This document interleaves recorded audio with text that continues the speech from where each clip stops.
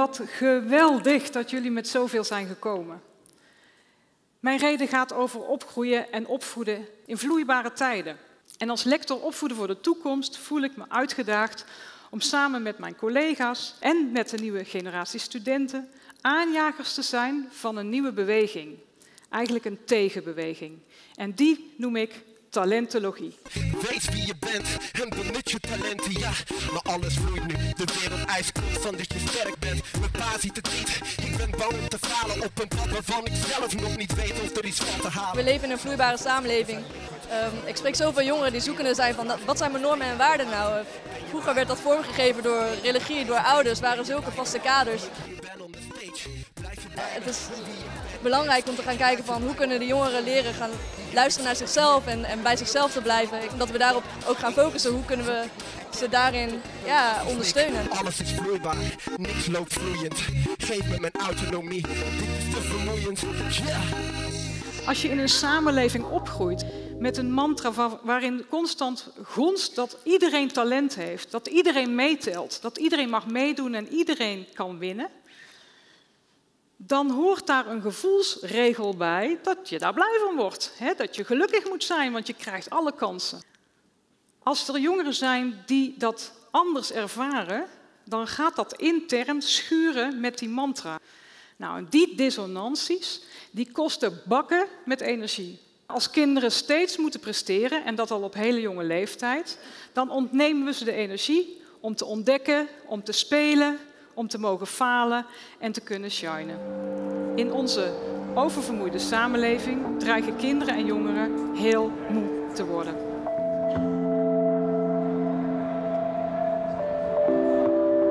Ik hoop dat we daarin een doorbraak kunnen hebben hoe we er ja, de, prestatiedruk gewoon voor die kinderen wat minder uh, intens kunnen laten zijn.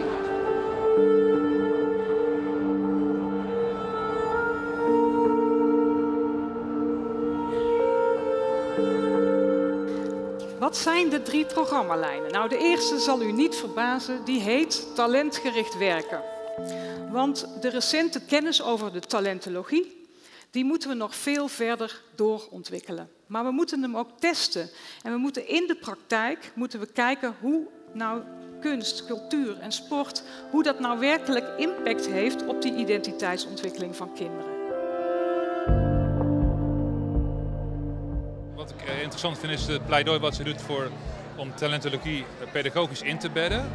Uh, en dat vind ik uh, heel interessant om dat, ja, om dat ook zelf mee te nemen en om, te, om zelf te onderzoeken wat dat voor mij als theatermaker en ook als docent pedagogiek bij Fontes kan brengen.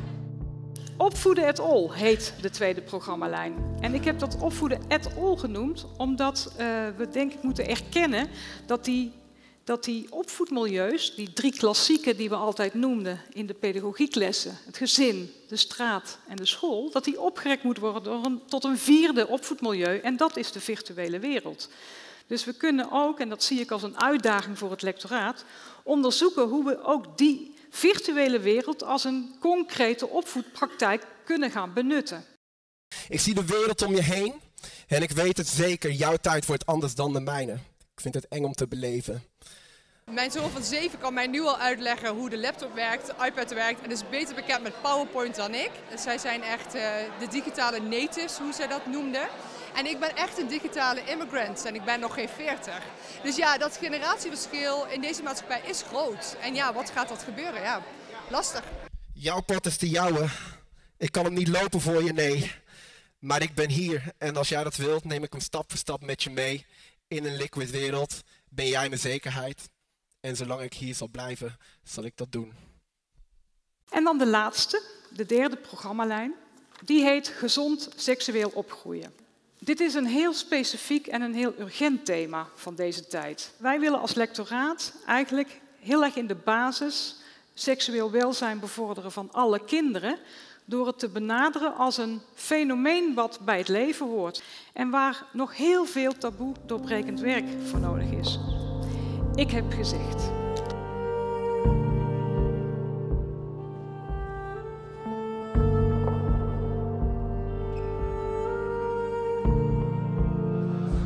Ik denk dat het gewoon eh, voorleven is. Dus zolang ik bij mijzelf blijf en, en eh, fouten durf te maken, blijf experimenteren, nieuwsgierig ben, dan leef je dat voort met iedereen die je tegenkomt. En, en dat is waar het begint uiteindelijk. En dat zie je ook bij Maaike, heel haar energie, zeg maar. Als zij op het podium staat, dan is het gewoon dit.